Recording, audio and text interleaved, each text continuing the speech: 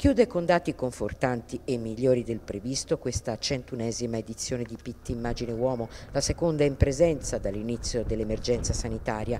4.500 circa i visitatori che hanno potuto apprezzare le collezioni per l'autunno-inverno 2022-2023 degli oltre 550 marchi esposti alla Fortezza da Basso.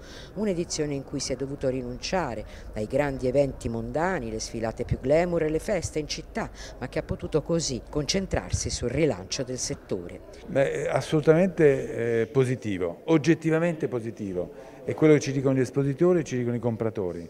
Questo è stato un appuntamento giusto, nel momento adatto dove, faccio un po' una metafora, eh, nei grandi momenti di difficoltà bisogna fare il quadrato, un po' come facevano i romani con la testuggine quando erano un po' in difficoltà, unirsi e affrontare una fase difficile.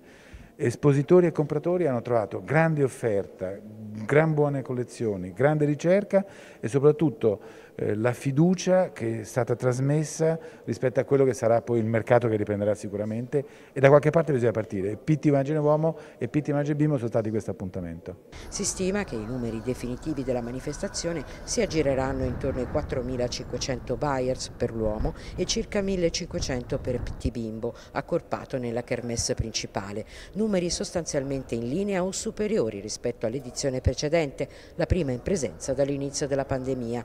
Nel dettaglio i compratori italiani rappresentano due terzi del totale e tra quelli esteri, tra i primi dieci paesi di provenienza dei buyers ci sono Olanda, Francia e Germania. Qualche coraggioso però è arrivato anche da Cina, Giappone, Corea del Sud e Hong Kong.